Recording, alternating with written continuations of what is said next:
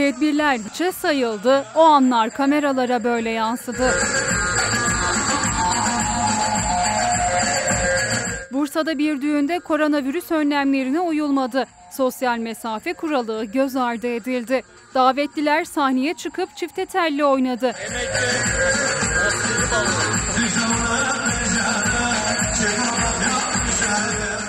Davetlilerin maske takmaması tepkilere neden oldu.